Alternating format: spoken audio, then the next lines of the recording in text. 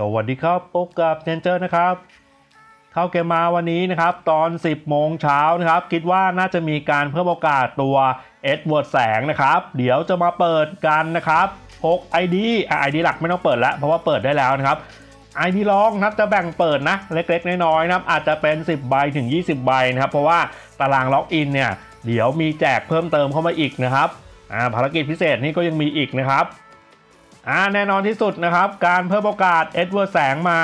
เรียบร้อยแล้วนะครับอ่าก่อนการซ่อมบำรุงฐานทัพวันที่ 26 แสดงว่าการอัปเดตเนี่ยจะมาวันที่ 26 นะครับ ไม่ใช่จบรอบนี้นะ จบรอบนี้จะเป็นวันที่ 30 นะครับอะเดี๋ยวขอดูนิดนึงนะอ่านี่ครับเขาเขียนนะครับว่าถึงก่อนช่วงซ่อมบำรุงฐานทัพวันที่ 30 นะครับ ฉะนั้นเนี่ยการอัปเดตอ่าการอัปเดตโอ้โหมาช้าไปนะ คือมาวันที่ 26 เป็นวันจันทร์นะครับ ซึ่งนะครับรอบนี้เนี่ยมันจะจบรอบวันศุกร์ที่ 30นะครับก็จะเป็นโคโรโบ Ranger ประจำเดือนสิงหาคมนะครับฉะนั้นเนี่ย Ranger ธาตุมืดไม่น่ามีแล้วนะครับตามที่บอกไปก่อนหน้านี้นะครับว่าอ่าไม่มีข้อมูล Ranger ตัวใหม่ของเดือนนี้นะครับส่วนการอัปเดตก็ต้องรอดูนะครับว่าจะเป็นอะไรอ่าก็ตามที่บอกไปแล้วว่า อาจจะไม่ได้ถึงขั้นเป็นโหมดใหม่ อาจจะเป็นแบบทางเลือกอะไรประมาณนี้ อันนี้ต้องรอติดตามนะครับ ส่วนตู้ระหว่างทางจะมีแสงมืดเก่ามาหรือเปล่า อันนี้ตอบไม่ได้นะ คืออย่างที่บอกว่าปกติแล้วเนี่ยตัวเกมไม่ค่อยปล่อยให้มันเงียบๆนะครับ ก็ไม่แน่นะ อาจจะมีตู้แสงมืดเก่าหลุดมาเป็นนอกรอบก็ได้นะครับ ฉะนั้นเนี่ยกำมาไว้ก่อนนะรูบี้นะครับ แล้วก็ตัวกาชานะครับอ่าไอดีสองนะครับก็มีรูบี้นะครับเดี๋ยวจะเก็บให้ได้ครบ 600 นะ แล้วก็เป็นลุ้นโคนาโบเดือนหน้านะครับ ส่วนตัวกาชาแบ่งเปิดนะครับ เดี๋ยวดูนิดนึงมีเท่าไหร่โอ้โหมี 51 แล้วนะ คือก็เป็นผลพวงนะครับแต่การที่เรนเจอร์เนี่ยไม่ค่อยมีตัวอะไรมาเป็นพิเศษนะครับ ก็เลยได้เก็บหัวกาชาไว้เยอะนะครับอะขอเปิด 4 รอบแล้วกันนะ โอเคมาลุ้นกันครับ คือตัวเอ็ดเวอร์แสงนะครับรีวิวแล้วก็ทดสอบไปหลายคลิปอยู่เหมือนกันนะ ถือว่าเป็นตัวที่ดีนะครับอ่าสำหรับทีมที่แบบว่า อาอาจจะแบบทีมทาง combo ความสามารถยังไม่ได้ครบทางนะครับ ยังมีตำแหน่งว่างอยู่นะครับหรือว่าเล่น Ranger ตามตำแหน่งปกตินะตัวชนตัว damage ตัวป่วนอะไรประมาณนี้ โอ้โห ตัวนี้นะครับ ตัวนี้เนี่ยเจ้านินจาเคยนำมาใช้นะ ซึ่งจริง ๆ มันก็เป็นตัวที่ดีแหละ แต่ว่ามันเปราะบางมาก ๆแล้วนะครับถ้าเกิดอยู่ในลีกที่ไม่สูงมากนักนะครับ ขาดตัว buff อมตะเนี่ยตัวนี้เคยเป็นตัวที่เก่งมากนะในตำแหน่งการ buff อมตะนะครับ Ranger ตัว buff ทีมนะครับ แต่ผมได้มาก็ไม่ได้ใช้ละยุคนี้นะครับ ก็มีตัวอื่นเยอะแล้วนะครับ รอบ 2 โอ้โหดีอานี่ก็มาบ่อยอยู่เหมือนกันนะอาส่วนเอ็ดเวิร์ดแสงใครยังไม่ได้ดูคลิปรีวิวก็ไปย้อนดูกันได้นะครับหลักๆจะเป็นทางป่วน skill ใบ้นะครับ ซึ่งมันข้ามหลังนะ กลุ่มข้างหลังเดินมานี่ก็โดนค่อนข้างจะเยอะนะครับ ส่วนทาง crit ก็เป็นทางเสริมนะ ซึ่งมีคนถามเยอะนะครับ โอ้โหตัวนี้เป็นตัวเกลือในกาชาเลยนะ คือมีคนถามเยอะว่าทาง crit เนี่ยมันหนักไหมจริงๆเนี่ยมันหนักนะทาง crit นี่คือหนักมากนะครับ แต่เมื่อเจอ buff นะครับอมตะป้องกันเนี่ยมันก็ยิงไม่เข้ากับเจอ Ranger ออกมาแบบถล่มปล่อยออกมาเนี่ยมันก็แบบไล่ยิงทีละตัวนะ ฉะนั้นมันก็เลยกลายเป็นทางเสริมนะครับ แต่ว่าในส่วนของ Guild War เนี่ยมันไม่มีตัวออกมาเยอะๆไง มันปล่อยได้อย่างละตัวนะครับ ฉะนั้นเนี่ยใน Guild War ก็จะใช้งานที่ดีนะครับ อะ ID สองขออีกทีนึงแล้วกัน เออ เดี๋ยวมีของตัวเกมแจกมาเพิ่มอีก อะจัดไป 25 ใบ คือแบบเน่ามากนะไอดีสองนี่แบบแทบจะเน่าคามือแล้วนะครับ คือเกลือนนานมากนะครับอ่าแต่ว่าตัวแสงมืดเนี่ยอ่ากำลังจะได้แม็กตัวที่ 2 นะครับ แบบฟรีๆนะ เก็บสะสมยาวนานมาก โอ้โห ก็ยังไม่มาสักทีหนึ่งนะสำหรับ ID 2 นะครับเปิดกันต่อที่ ID 3 นะครับอ่าเดือนนี้นะครับ ตัวกาชานะครับ กับกบดำก็เยอะนิดนึงนะ อ่าคนที่แบบว่ากำลังปั้นทีมอยู่นะครับ ก็เป็นเรื่องที่ดีนะครับแต่ก็เหมือนเดิมนะสอนอยู่เสมอครับว่าเก็บกบให้ครบ 20 ตัวก่อนนะครับ ค่อยเลือกปั้นแม็กมา 1 ตัว ฉะนั้นเนี่ยตอนนี้เนี่ยหยุดเอาไว้ก่อนนะครับ รอเดือนหน้านะโคโรโบเรนเจอร์นะครับเผื่อจะมีมาแบบปังๆ ตัวเทพๆนะครับอ่าไอที่ 3 ได้มา โอ้โห จะไว้ตรงไหนดีนะ ก็อาจจะต้องเป็นตัวของ โอ้โห ไม่อยากจะเอามูลหมอดูออกนะ จริงๆ มูลหมอดูยังใช้งานได้ดีนะครับอะเดี๋ยวเราดูแล้วกัน คือทีมนี้เนี่ย โอ้โห มันแบบว่า ก็ถือว่าสวยนะอ่าตัวกาชามีเท่ากับไอที่สองเลย โอ้โห คือเก็บมาพร้อมๆกันนะอะก็อาจจะเปิดถึง 5 รอบนะครับอะเดี๋ยวรอดูแล้วกันนะ มันอาจจะมาก่อนในใบแรกเลยนะครับ 5 ใบแรกมาเลยหรือเปล่าอ่าได้มาก็จะเป็น การเสริมความแข็งแกร่งเลยนะครับทั้งเกมนั่นเองแล้วก็เกมตั้งรับ โอ้โหเฮ้ยแมวกวักมาแล้วโชคลาภมาแล้วจะได้หรือเปล่า ตัดไปอ่าเดือนหน้าก็รูบี้มีถึง 600 แน่ๆนะครับ ID 3ก็ส่วนใหญ่ ID รองผมก็จะอ่าเป็นแบบนี้แหละ เก็บ ruby ไว้สัก 600 นะครับ โอ้โหแชมเปญนะครับ ก็ยังใช้ได้อยู่นะ อ่าใครอยากรู้นะครับว่าแชมเปญดียังไงนะครับ มีคลิปของ ID หลักนะครับแชมเปญ hyper max นะครับใส่เกียร์ดำเต้า เฮ้ย ไม่ใช่เล่น ใครยังไม่ได้ดูนี่ควรจะต้องไปหาดูเลยนะอ่าคนติดตามใหม่ๆแนะนำว่าให้ดูที่ playlist ช่องโอ้โหบ่นมากใบเหลืองมาเลยนะ ตลอดเลยครับ พูดมากทีไรเนี่ยแดงมาทุกทีเลยนะอ่าให้หาดูจาก playlist ช่องนะครับอ่าแล้วก็เป็นความขอร้องนะ เป็นการขอร้องจากผมนะครับ คือการแสดง เด้งเตือนการแจ้งเตือนเนี่ยมันไม่ค่อยแจ้งเตือนครับ คือมันจะแจ้งเตือนเฉพาะบางคนไงแต่บางคนก็ไม่ได้แจ้งเตือนเท่าไหร่นะครับ คือแจ้งเตือนลดน้อยลงมากเกินครึ่งนะครับ ฉะนั้นเนี่ยแนะนำว่าให้เข้ามาดูที่ช่องโดยตรงนะครับ ผมลงคลิปทุกวันนะ อย่างน้อยๆเนี่ยมีแน่ๆหนึ่งคลิปนะครับก็จะลงนะครับเช้าเลยนะครับ ตอนสายตอนบ่าย ตอนเย็นก็เข้ามาดูกันแล้วกันนะอาจจะช่วงนี้ว่างๆก็ลง 2 คลิปนะครับ เปิดไปแล้ว 5 รอบ โอ้โห ก็ยังไม่ได้ตัวอะไรเพิ่มเติมนะ เปิดกันต่อที่ ID4 นะครับ ID นี้ได้มาแน่นอนครับ ต้องแทนดาวินชีแล้วล่ะ อ่าไม่แน่อาจจะปลดระวางริวก็ได้นะะแต่ว่าตัวแม็กซ์เนี่ยติดทีมไว้ก่อน เออดูสวยงามนะครับ อะ ID นี้มี 52 ใบนะครับ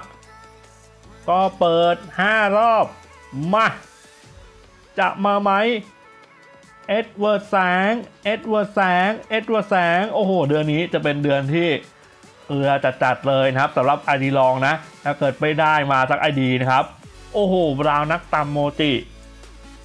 อ่าตัวนี้มีคนใช้อยู่นะ คือมันก็ใช้ป่วนได้นะครับป่วนตัวเองก็ได้นะครับเออป่วนทีมศัตรูก็ได้นะ คือมาดึงศัตรูมากองกองกันข้างหน้านะครับ แล้วก็ skill มีการข้ามไปยังแนวหลัง โอ้โหโคนี่นักเรียน โอ้ถือว่าได้ตัวดีนะ ID นี้ไม่ได้ใช้นะครับ ID สี่นี่แบบว่า ตัวชนนี่แบบแทรกยากแล้วนะครับ มีทั้งเอเรนนะครับ แล้วก็ Goblin Slayer ตัดมาหน่อยดิ โอ้โห เอ็ดแสง เอ็ดแสง โอ้โห ไม่มาอีกแล้วนะครับ อะ ตัวเหลืองๆทองๆมีแสงมา ต้องเป็นเอ็ดเวิร์ด มาหน่อยนะ เอาหน่อย จะได้ปั้นให้ทีมมันแข็งแกร่งในอนาคตนะครับ โอ้โห จบเลยครับ อ่าเมื่อกี้มีให้โอเค ต้องเปิดอีกรอบหนึ่งอะ รอบสุดท้าย ID4 โอ้ใจคอ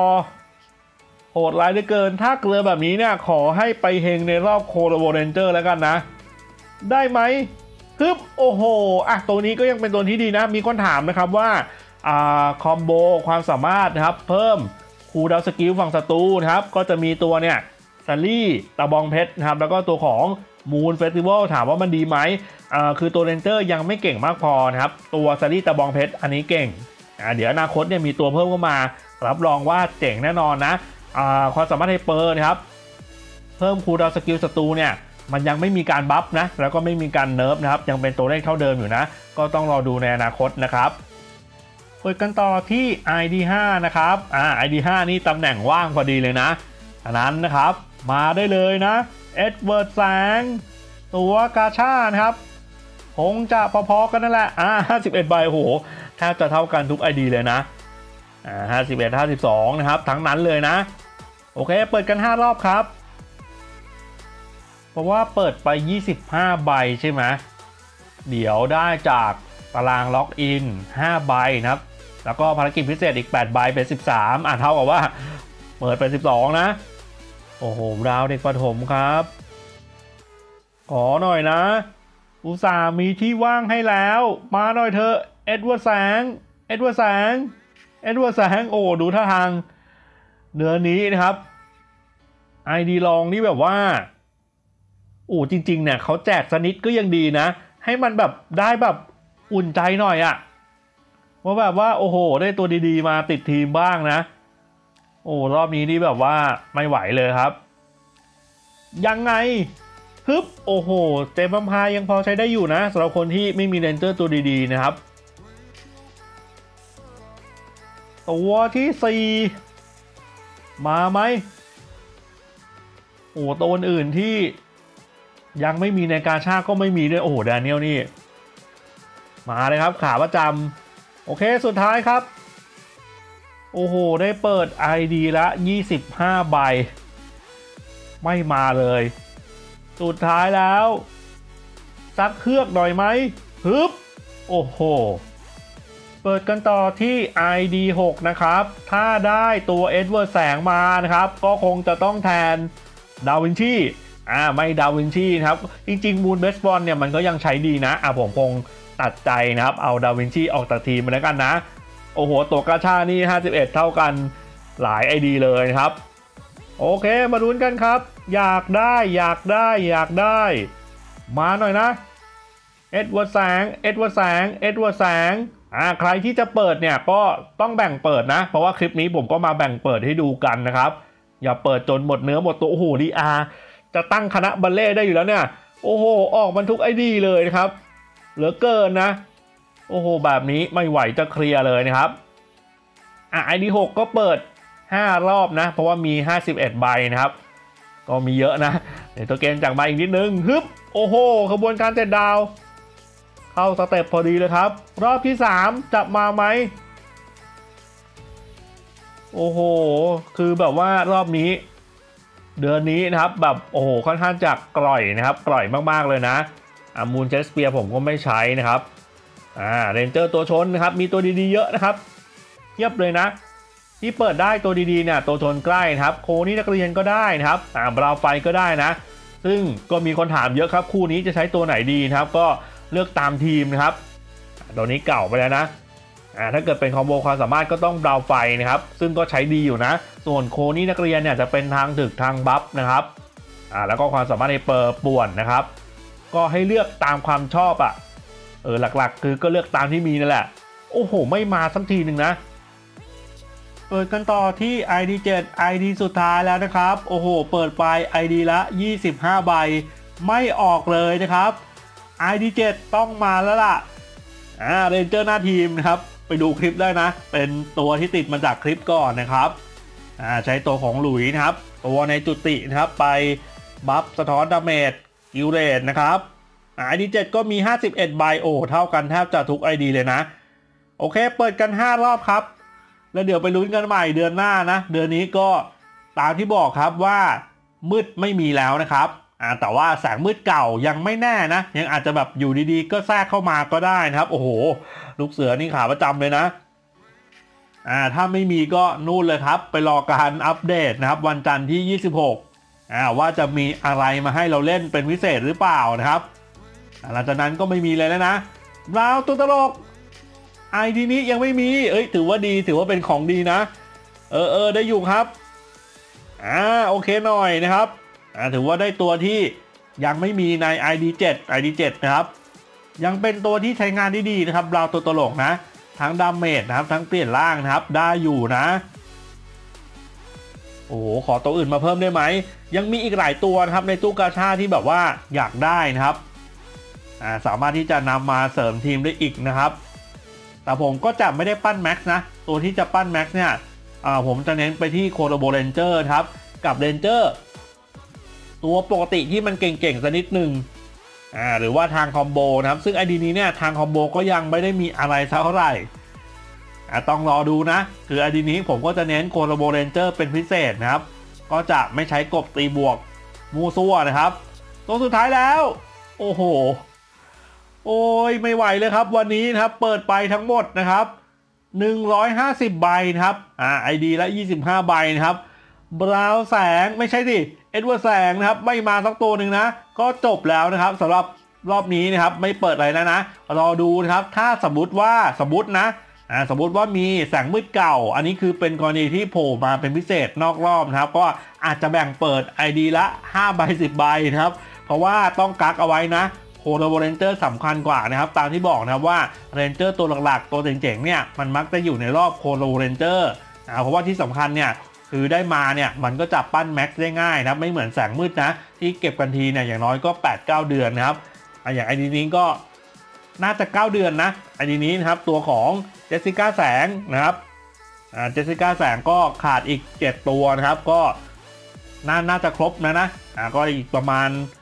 เดือน 2 เดือนครับน่าจะประมาณ 2 เดือนนะอ่ารวมกับเวลาตอนนี้ของ ID7 เนี่ยก็ 9 เดือนครับก็สามารถปั้นแสงมืด Max ได้ตัวหนึ่งคือมันใช้เวลานานนะ ไม่เหมือนกับตัวปกติหรือว่า collabo ranger นะครับหากบไม่ยากนะ เดือน 2 เดือนก็ได้แล้วนะครับ1 Max ครับเอาวันนี้ประมาณนี้ใครอยากจะเสี่ยงดวงครับก็ลองเสี่ยงดวงได้นะ เพราะว่าเอ็ดเวิร์ดแสงก็ถือว่าเป็นตัวเสริมทีมที่ดีเหมือนกันนะอ่าไม่น่าเกลียดนะครับถือว่าค่อนข้างจะเก่งนะครับก็จะเป็นทาง ป่วนซะมากกว่าอ่าป่วนยิงใบนะครับ แล้วก็อ่าบัฟทางคลิกนะครับก็ถือว่าเป็นทางเสริมนะครับอะใครชอบก็เปิดนะครับ ไม่ชอบก็ผ่านนะ แต่ถ้าเปิดให้แบ่งเปิดนะ เหมือนวันนี้นะครับอ่าแล้วก็ขอให้โชคดีด้วยนะ โอเค วันนี้ประมาณนี้แล้วกันนะครับลาไปก่อนครับ สวัสดีครับ